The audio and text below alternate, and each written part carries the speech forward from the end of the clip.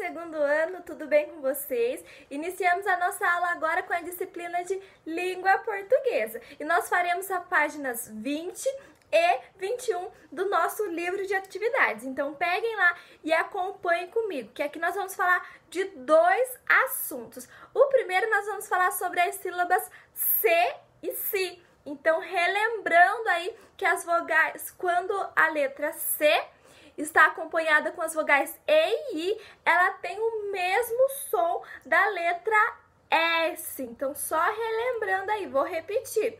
As vogais E e I, quando está acompanhada aí, quando elas estão depois da letra C, elas têm o mesmo som da letra S, certo? Então, C e Si, nós temos aí as atividades para fazer. Começamos aí na página 20 no exercício número 11. Então vamos lá. Então, primeiramente, nós temos três palavras: príncipe, princesa e Mônica. Vocês vão pintar a palavra que a letra C representa o mesmo som.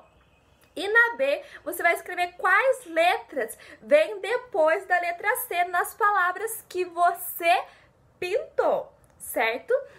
Número 12, nós temos aí as palavras e tá faltando sílabas. Então, vocês vão completar ou com a sílaba C ou com a sílaba si, certo? Então, nós temos a palavra cenoura, cinema, cebola, doce, capacete, tecido, cereja, cidade e oficina beleza?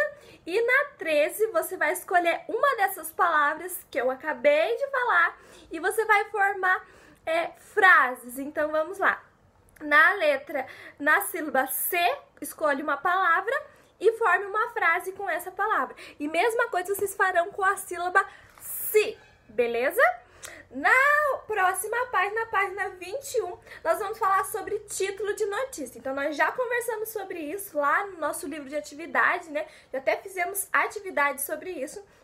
E aí nós temos duas notícias. Vocês vão ler com muita atenção essas duas notícias e depois vocês é, colocarão aí, darão um título para essa notícia, tá bom? Então lê com atenção, vê o que, que a notícia está falando, está aí nos informando e escreva o título dessa notícia, certo? Qualquer dúvida eu estou à disposição de vocês. Assim nós terminamos a nossa aula do dia de hoje de língua portuguesa. Um grande abraço a todos e até a próxima aula.